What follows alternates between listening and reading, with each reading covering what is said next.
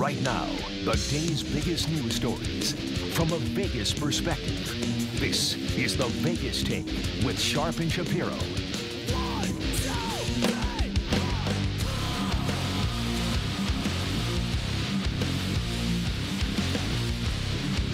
All right, welcome back. It is the Vegas Take on a Thursday, rolling into hour number two.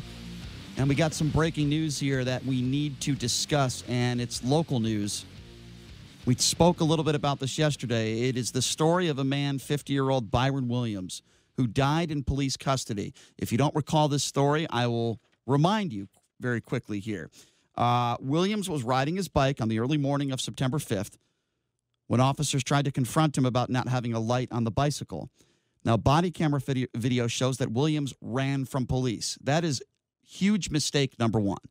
He ran from police. Officers chased him down. They did find drugs in his system, but they pinned him down to the ground. While being handcuffed, Williams repeatedly said, I couldn't breathe. Does that remind you of somebody? Eric Garner. While saying he couldn't breathe, and while taking him into custody, when they found the drugs, they stood him up and his body went limp, limp and he died. And now, this morning, Metro Police are saying that uh, the coroner has ruled this as a homicide. Now, this is important. It doesn't necessarily mean that it's a determination of criminal activity or wrongdoing, but certainly it is a case for the family members and attorneys that are representing Byron Lee Williams. But again, let's start from square one because I talk about this all the time. In these types of situations, whether it is an officer involved shooting, even in the Eric Garner situation, which was horrible, horrible. And I'm not condoning what that officer did in the Eric Garner case. I'm not condoning that chokehold. It was wrong. And that officer probably should have gone to jail. But with that being said, it seems like 99% of these cases, I don't care what the color of your skin is, 99% of these cases are non compliance. Doesn't mean I'm saying the officers are always right. This is non compliance. Okay. Did this guy deserve to die? Absolutely not. We don't know exactly all the details of this case, but we do know he ran from the police, didn't he? And the excuse I get from many people, including African Americans, are we are scared of police. We're scared. It's an instinct. That's why we run. That is a poor excuse. If a cop is right No. or wrong, you absolutely 100% need to comply. Why is it so hard for people to understand that? D- does compliance only apply to running, or does it does it apply to being asked questions and answering the questions that are asked of you, even if they incriminate yourself? Well, the first thing I say when I talk about, first of all, if somebody's not answering a question, I can't recall a case where he was shot dead Right. because he wasn't answering a question. What I'm talking about is running from police, Right. attacking a police officer, That's- swearing or screaming at a police officer. That's you can't do stuff like that. That's clearly non-compliance. But I was actually involved in a situation myself about five years ago back in Omaha, Nebraska, where I was in a vehicle and the vehicle was uh, the driver was not very sober, and he was driving down. Uh, I, I, it, it was the wrong. It was the, the wrong street. It was a street he shouldn't be driving down, and he almost crashed the car. And I got out of the car. So did everybody else, and the officer started asking me questions. And I did not answer those questions. you because- don't have to answer well, questions. but the beca- law says beca- you don't because, have to. Because I felt like it would incriminate the driver of the car as well as myself. You don't have to. and the officers tried to put me in a type of situation. They, they basically assaulted me. Um, and I had to say that I can't breathe because I, 'cause I couldn't breathe at the time. But to them, me not answering those questions was considered non-compliance. Well, that- that's a- and I that's didn't, I didn't run from anybody. My, Listen- my my hands were in the air. It was a totally different situation. Okay, but- I- I- so, uh, in those circumstances, is that considered non-compliance when you, when you No. refuse to incriminate No. yourself or someone no. that you're with? No, because you're abiding by the law. I'm talking about people that do not abide by the But- law. but they In this case, running from police, that's a completely different circumstance. But they operated as if I did run from the police. well, then that's wrong. Then they're morons, I- and they shouldn't be police I- I completely agree. Um, I'm going to take some phone calls on this at 257 5396. But before I do, I want to share my story too. Uh, I was on a date, okay? I was following somebody to a sushi restaurant. This was on Spring Mountain Road. This happened about seven, eight years ago. I'm pulled over by a police officer. My date, who I just met, is right in front of me. She pulls over too. I'm like, oh, did I did, was I driving too fast? I didn't think I was. He says, get out of the car. The police officer. I said, officer, what did I do? He says, get the hell out of the car. Uh, I complied. I probably shouldn't have uh, in that situation, but I complied. I get out of the car. He puts me up against the car. handcuffs me. And I said, What is going on here, officer? Why are you putting handcuffs on me? Doesn't answer me. I'm handcuffed. Then, about 10 minutes later, he uncuffs me and he says, Oh, we had reason to believe your car was stolen. Now, if I resisted arrest, that could have ended very badly for me. I didn't resist arrest. I kept my cool, even though I didn't want to. He told my date to leave. She left. I never hung out with her again. I mean, maybe that's not the only reason why she didn't hang out with me again, but that's certainly one of the reasons. The point I'm trying to make, and I understand African Americans are going to say, "Well, you don't know what it's like to be black. You don't know what it's like." And you know what? I don't. But- but but I'll but I'll say this. Here's what I do know.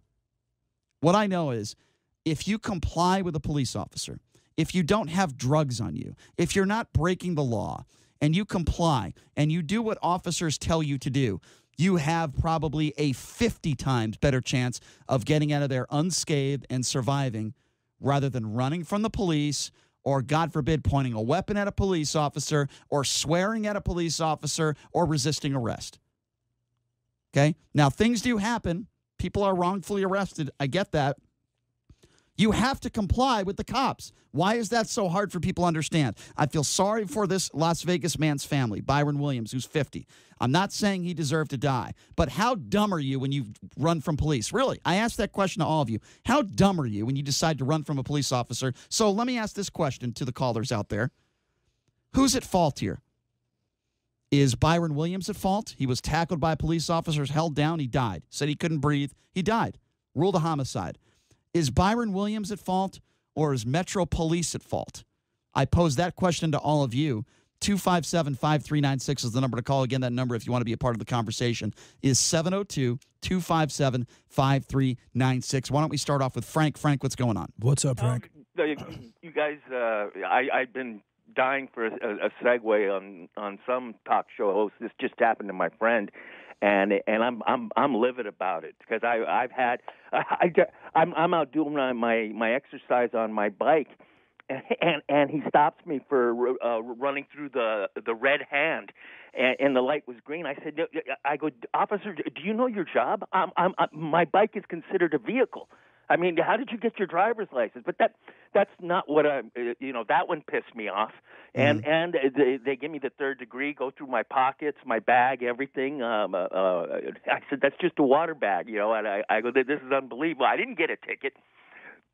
But uh, last week, my friend, um, he had well he left and and he he's not a big partier when it you know comes to to uh, drugs or alcohol he did have a beer a couple hours ago um evidently he made uh, an illegal right turn and this was on a friday my other friend was smoking pot in the back pot is legal he uh, takes a breathalyzer, blows goose eggs. The cop takes him to jail. He sits in jail for three days. Mm. And, and, and here's the most infuriating thing: it, it, it hell, the VA gets six vials of blood back to my doctor in three days, and the VA is not fast.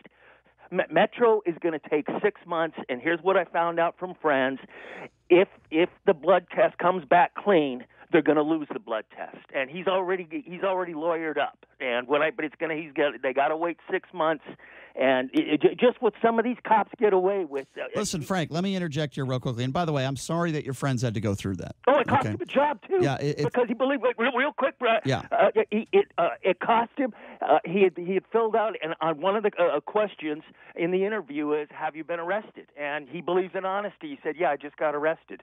And and okay, and, let me uh, interject here, Frank. And so he, he didn't get hired because of yeah. that. Frank, let me interject here real quickly. Um, I'm sorry that your friends had to go through that, but it still doesn't change my opinion when it comes to complying with police officers. Now, it's horrible that your friend lost his job. It's horrible that uh, one of your friends had to be in jail for three days for for for little reason. But with that being said would you rather be in jail for three days and lose your job or lose your life? But if you don't comply with police, there is a chance that you could lose your life. And many of these officer involved shootings, that is exactly what is going on here. When you have these officer involved shootings, the reason for it is is for that reason alone. I, I will say this: in some situations, police officers like to intimidate you and and and make you think that if that maybe you don't you don't understand the law or or you don't know enough about the law and, and they make you want to you know incriminate your you know, incriminate yourself or answer questions you don't want to answer or do things you don't want to do and if you don't do those things they they they basically perceive that they they intimidate you to do those But it things still doesn't change my opinion, no, though. but uh, say for example the story that I just explained roughly 10, five, 10 minutes ago. What if I was African American? What do you think would happen to me under those circumstances? I don't know the answer to that question. not running from the police, just refusing to answer questions to incriminate have- myself if you and- have- and, the person that was driving the vehicle. If you have good police officers that are doing their job, I would imagine they would treat you the same and, way. And these obviously were not good police officers. Well, who knows what would have happened then? But I can tell you right now, if that African American ran from police, it would have ended very badly for him.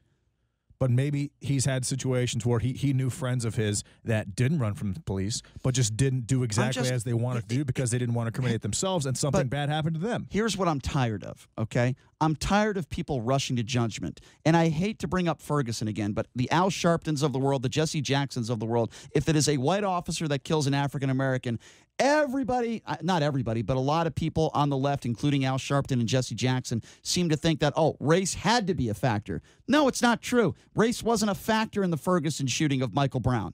Michael Brown attacked that police officer. What do you guys think about this? 257 5396 is the number to call. Again, 702 257 5396. Our producer, Steiny, is in studio. Now, Steiny, Yeah, what's going on? Just reading up on this Byron Williams breaking news story.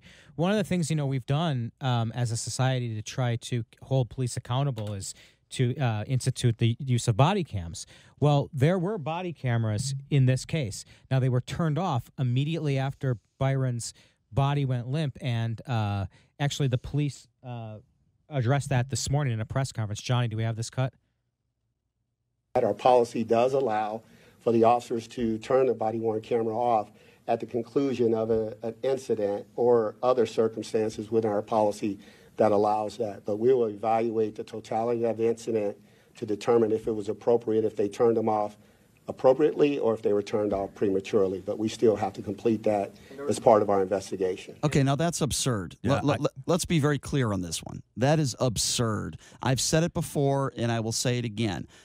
Body cameras need to be on 24 7 for every second of every shift. Not only will it save money to the taxpayer, how will it save money to the taxpayer? For fibulous lawsuits, if the police officers do absolutely nothing wrong, we have the video footage to prove that the officers acted responsibly. It- now, on the other and side, it should save money to the police department as well, assuming that the police officers are, are acting within protocol. Right. And on the other side of things, if the officer does do something wrong, guess what? There's no defense for them. Exactly. We have the video evidence. Why the hell would they turn off their body cameras? that that's why it was ruled a homicide, Brian. yeah. I mean, it's and- insane. and it should be under those circumstances. Yeah. I mean, it's it's pretty simple, but you know, I don't listen. Officers, there are some bad apples out there, and in those specific situations, I want them convicted. I want them prosecuted to the highest extent of the law. Make no mistake about it. I don't want those people out there on the streets. But gosh, people, every single time we have an officer involved shooting, every single time it involves a white police officer and an African American, everybody jumps to conclusions oh, it must have been race. That must have been why. And then when we learn in many of these cases, not only was there noncompliance, but maybe someone pointed a weapon or a gun at an officer. Maybe someone resisted arrest and, and posed a threat to an officer. We don't know all the specifics until they come out. In this specific situation, this is very sad. I feel horrible for Byron Williams. Nobody shot Byron Williams. It appears as though some people were on top of him trying to arrest him so he didn't get away. Guess what? Here's something simple for you. Don't have drugs on your person and don't run from the police when you have drugs on your person. Is that so hard to understand? That man would still be alive today if he didn't run from police. and it can probably assume that he had a criminal record, and, and if he had gotten caught with drugs, he, he knew he would go to jail. That's, that's why he ran from the police. I think that's a pretty I- I- fair I- I think- assumption. I think that's probably what took place. That is a pretty fair assumption. Now, do I like the fact that police officers went up to him because he had a headlight out? No, I don't like that. But guess what? Don't break the law. That's pretty ticky tacky. don't break the law, and maybe you would have been cited and wouldn't even be able to go back on your way. Instead, the man is dead.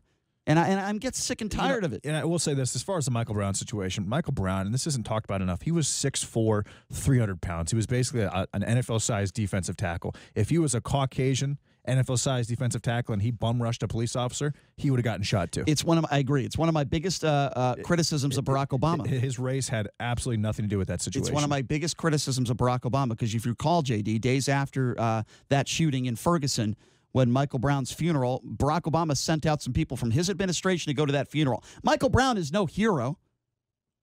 He's no hero. He's a vigilante. He was mean, uh, his death was was leveraged as a pawn. It's a joke. To be honest with you, you want to talk about Garner? That's a different it was like the definition of pandering. And, and Garner was he, he had been he had been warned and arrested a combination of 27 times for the exact same thing. He was also undercutting the cigarette shops. And he assaulted for, a woman. for cigarettes. I mean, And- and he had, so uh, he, he- domestic he, was he abuse. wasn't exactly a model citizen either. Garner was he not. just happened to be Garner. Garner was not a saint. Also convicted on domestic violence. So I mean, you know, to say that Garner was this uh, a law-abiding citizen And- is a joke. and- Did he and deserve to die? Did he deserve to die? No, No, that's and, not what I'm and saying. Garner was also six foot seven, 330 pounds with a heart condition. Right, right. 257 5396 is the number to call 702 257 5396 if you want to jump in. Let's go to Ron. Ron, what's going on? What's up, Ron? Hey, Brian, how you doing? Good. Uh, li- listen, Brian, uh, even you yourself admitted about uh, the gentleman that had uh, chokehold Yes. and uh, died. I, I remember that. Yes. Um, uh, simple answer, and you admitted it yourself, is just submit. Because when you said it, it, it, it could have been very bad for you, um, you know, which which is, you know, uh, it probably is true. It could have been very bad for you. Right. Um, but but to go ahead and submit means whatever they want.